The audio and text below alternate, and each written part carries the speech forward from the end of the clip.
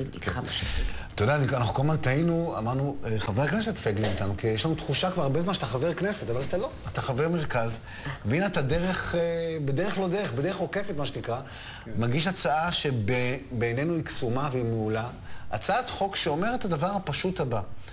אנשים שיבצעו עבירות אה, תנועה חריפות, אה, מהקשות, כמו אה, קו, הפרדה לבן ורמזור ונהיגה בשכרות כמובן, ויש עוד שתיים כאלה, לדעתי יש חמש עבירות חמורות, לא, לא יכוסו על ידי הביטוח. הביטוח לא יכסה את, מה שיקרה להם, לא מה שיקרה לאלה נכון. שהם פגעו. אז בוא תספר, כי זו באמת הצעה, איך, איך הגעת לזה? טיפה לדייק, מדובר בעבירות של אה, אלימות על הכביש. אוקיי. פשוט כך. כלומר, נהיגה פרועה בדעה צלולה, אדם שנכנס לצומת באור אדום, שנייה אחרי שהאור כבר דלק. כן. אבל גם הלכנו בשכרות, הלכנו, כן, הלכנו בכוונה למקרי קצה, עקיפה בפס לבן, אתה עומד אחר אחר, מחליט לעקוף אותו על פס לבן. זו התאונה, אגב, שפגעה קשה בבן שלי. הבן שלך בן עשר, נכון? נפצע... היום הוא כבר בן שמונה עשרה, כשהוא נפצע היה בן שש עשרה. בן שש עשרה, סליחה, אבל נפצע באופן אנוש ומצבו השתפר. ברוך השם, כן. הוא על הרגליים. אה, אה, ומה שבאמת התברר לי באותה תקופה, היה לי הרבה זמן לחשוב בבתי חולים וכולי, ולחשוב גם מתוך מקורות היהדות שלנו, איך מתמודדים עם דבר כזה. וכולם מסכימים שלמעלה מ-90% מהתאונות הן תוצאה של מה שנקרא הגורם האנושי. Okay. והבעיה היא באמת שמימד האחריות ניטל מהכבישים. אין אחריות, הנהגים מפחדים מהעונש, לא מפחדים ממה הם יעשו לבן אדם שייפגע. אתה יודע מה, כל ישראלי שתשאל אותו, ממה אתה מפחד יותר? לנסוע על 130 או לנסוע בלי ביטוח? מה הוא יענה? ברור. ברור, נכון. אבל זה כלום לעומת מה שהישראלי יספר כשיתפסו אותו. אני לא יודע אם אתה נחשפת לזה, אנחנו לפני שנה, שנה וחצי, שנתיים, עשינו מבצע שנקרא שטח הסטרילי. לקחנו את העיר אשדוד, סגרנו במתחם, יחד עם ראש העיר כמובן ועם המשטרה, והראינו איך שכשעושים את זה, סוגרים את זה בחודש, שמים מצלמות, פתאום התאונות ירדו ב-50%, אבל בתקופה הזו גם המשטרה עצרה לא מעט נהגים, וצילמנו את זה כמובן. בוא תראה מה, ישראל, מה הם מספרים. התירוץ של הנתפס. תסתכלו, זה לא יאומן. אדוני, שלום. תעודת זהות, רישיון נהיגה.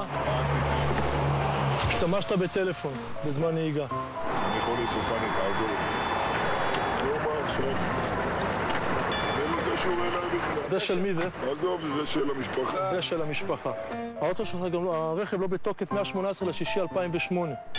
למה האוטו למעשה בלי טסט?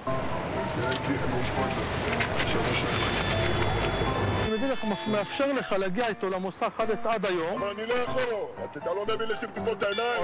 לא- אני מוריד לך את האוטו מהכביש. על סמך מה אבל? זה כבר הגזמה, מה זה? מה זה הגזמה, אחי? אתה נוסע... אין טסט לאוטו, אז מה? מה זה? טוב, זה כאילו... חולה הסופני אגב חי. כן, זה כאילו קצת קומי, כי הוא זה... אבל האיש היה בקבוק אלכוהול באוטו, באוטו בלי טסט. אה, נסע ושהוא מדבר בטלפון. אה, מה נגיד? עכשיו... זה באמת בדיוק הדוגמה שעליה אני מדבר. כלומר, יש באמת מצבים שנופלים עליך בלי שהתכוונת וכו'. הסיפור של האיש הזה הוא דוגמה טובה מאוד. אגב, נהניתי מהבלונד שלו גם כן. כן, חולה סופני אחד.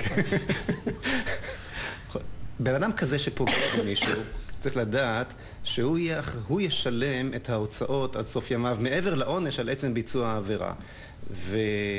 והכוונה היא בצורה הזו להתחיל ולהחזיר את מימד האחריות לכבישים. אבל מה יקרה כשהוא לא ישלם? הלוא בהיעדר ביטוח, אם צד אחר נפגע... יש לו פתרון גם לזה. לא, לא, לא. אז זה מה שאני שואלת. חברת הביטוח משלמת ומפצה את מי שנפגע כפי שהדבר קורה היום.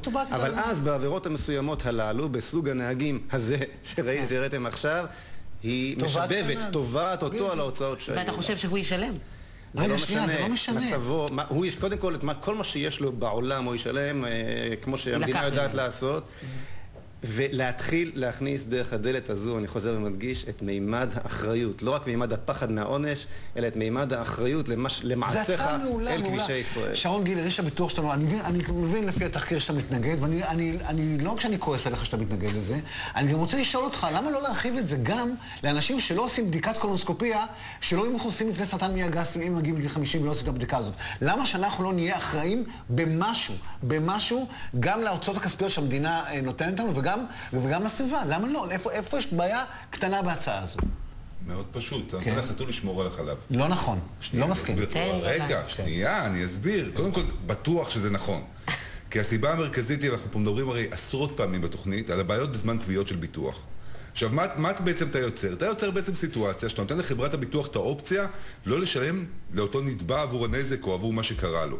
עכשיו, מה הבעיה שלי עם הבעיה? קודם כל יש לזה פתרונות, אני אתן לכם דוגמה מהעולם, לא, שקיימת פתרון. רק לתקן. אבל זה לא נכון, אתם לא. מדייקים, חברים. לא הוא. מציע שהחברת ביטוח תפצה את הצד שלישי, אבל... תגבה את זה הנהג מהנאשם. ידע שהוא לא מכוסה על זה והוא יתבע... אני, ייקח אותי, לא לא את האיש הזה שלנו הנפגע מכוסה, רק אם הנהג. אני אדע שאם אני עובר בפס לבן ואני פוגע במישהו, אני צריך לשלם את זה, אני לא אעבור בפס לבן. אתה לא. אבל אחרים. אבל הרבה אנשים לא יעשו את זה יותר. אבל בוא נדבר על דברים נורמטיביים. תשמע, אתה, אם אנחנו הולכים למקרה הקצה כמו שראינו פה עכשיו כן. בדוגמה, אוקיי, בן אדם נוסע בלי טסט, בן אדם נוסע עם רכב לא תקין וכולי וכולי, קודם כל אין לו ביטוח, אז זה בכלל לא רלוונטי, כי אם אין טסט לרכב. אבל זה מקרה לא. קיצון, הוא באמת. בסדר, אבל בוא ניקח את המקרה הסטנדרטי. אתה יודע כן. מה, בן אדם לא שם לב, שמע, קורה.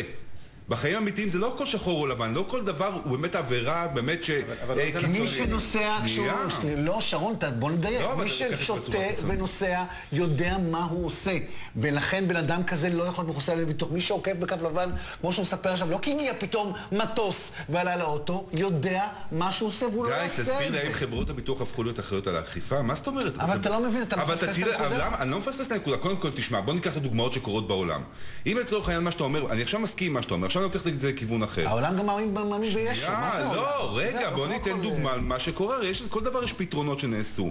אם היית לוקח את הביטוח החובה, הרי הבעיה פה לא הביטוח רכוש, הבעיה פה בביטוח החובה, כי זה הנזקים הגדולים. אם היית לוקח את הביטוח החובה, דוגמה, אה, אה, איך שזה מבוצע בארצות הברית, הביטוח הוא פרסונלי. לצורך העניין, כל שנה שכאשר באים לחדש את הביטוח, בודקים לא אם, לא אם עשיתי עבירה חמורה. אם בכלל עשיתי עבירה קטנה. כל עבירה שנוצרת לי, מעלים לי את הפרמיה בצורה משמעותית. אז מה?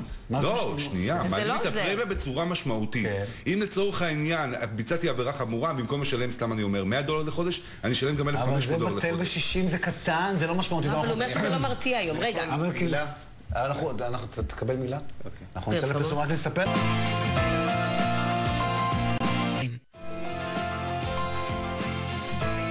שנשארתם קחו. פה מכות בזמן הפרסומות. תמשיכו, לא, חברים. מעצבן אותי, אני הוא נהנות. חבר שלי, הוא מעצבן אותי. נו, יאללה. הוא לא מבין את ההצעה המופלאה של אה, חבר מרכז פייגלין. אגב, הצעה כזאת, בשביל מה אתה מתעסק עם פוליטיקה, אתה מביא כאלה הצעות טובות? תעזוב את הפוליטיקה, תעזוב את אני ה... סליחה, לא, אתה- בשביל מה אתה מתעסק עם השטחים? עזוב. אולפנה, עניינים. כן, תתעסק עם מה שחשוב. אני- מתעסק עם מדינת ישראל. אה, אנחנו לא מצליחים לשכנע את שרון גילר שזאת הצעה טובה, אבל אתה מספר גם על סקר שעשיתם ל- ב- בעניין פשוט הצעת הלכנו החוק ובדקנו? את העניין הזה כן. אה, בצורה מאוד פשוטה. עשינו סקר בקרב מגוון רחב של אוכלוסייה, ושאלנו אזרחים אם הם חושבים שהם ישנו את אורחות נהיגתם בעקבות איך, איך חוק כזה ישפיע על הנהיגה שלהם. וקרה תוצאה מאוד מעניינת. אוכלוסייה צעירה, שהיא בדרך כלל אנחנו יודעים, האוכלוסייה שעושה יותר צרות על הכבישים, אה, אמרה, הגיע, אה, חלקים מהם, מהצעירים אפילו אמרו לוותר על רישיון נהיגה. כן, לא כולם חייבים לעומת לנהוג גם. לעומת זאת, המבוגרים, שממילא יש להם אחריות כן. באופן אישי ונוהגים בצורה אחריתה, ככל שהגיל עלה, אמרו, זה לא ישנה לי שום דבר, אני, אני אחראי בכל מקרה. הרעיון הוא להשיב את האחריות ל, ל, לכבישים, וצריך להבין, אותם חמישה חוקים שאנחנו מדברים, מדברים עליהם, אחראים לרוב התאונות הקטלניות, כלומר, אנחנו נחסוך פה פשוט בהרבה הרבה חיי אדם. אבל מה שאומר שרון, והוא מכיר היטב את חברות הביטוח, זה שא', זה, זה פותח להם פתח ל, להתחיל לתבוע כל אחד על... זאת אומרת, מי מגדיר מהי נהיגה? החוקים- זה בדיוק מה שיקרה. זה בדיוק מה. כסף. החוקים הם מאוד מאוד מאוד מחמירים ומוגדרים. מי שנכנס לאור אדום, באור אדום, שנייה אחרי שהוא כבר דולק. מי שעוקף על פס לבן, אלה דברים שקל להוכיח אותם. שנוסע בשכרות. אבל מעבר לזה, גם אם הוא צודק, ותהיה איזושהי טרחה נוספת ופרוצדורה נוספת שצריך לעבור, מדובר כאן בהרבה הרבה חיי אדם. מה עומד כאן מול מה? הבעייתיות של הפרוצדורה מול חיסכון אדיר לא בחיי הבעייתיות. אדם. תשמע, אם אנחנו מדברים על אזרחים פשוטים, לסיכום, שקמים בבוקר, אוקיי, ורכשו במיטב כספם פוליסת ביטוח, שמכסה אותם היום על כל דבר, אתה יודע מה, ובצדק, כי זה המשמעות של פוליסה, בעיקר פוליסת נזקי גוף, שזה בכלל משהו קיצוני אחר לגמרי. ויגיעו לסיטואציה שלמחרת על מקרים שהם מקרים אפורים, כי אנחנו, יש עשרות מקרים, גם תיעודים של תאונות, שאף אחד באמת לא יודע מה האשם וכן האשם ולא האשם. כשלא אז יודעים, אף אחד לא ישלם. דקה, שנייה, שנייה. זה מה שאתה אומר. אנחנו מכירים את העולם האמיתי. בעולם האמיתי מה שעשו חברות הביטוח, זה פשוט מאוד התחילו לתבוע על מנת לצמצם הפסדים. זה בדיוק אי מה אפשר שיקרה. לחשוב תמיד ב- בצורה שומרת, זה לא, אבל לא נצליח להפעיל את זה. זו מחשבה לא טובה. לא, זה לא שלא נצליח, אתה יצליחו חושב דרך להפעיל את זה. הכסף, אני חושב דרך האחריות. אתה אומר, אז נפטור אותם מהאחריות ושימשיך הקטל בכבישים.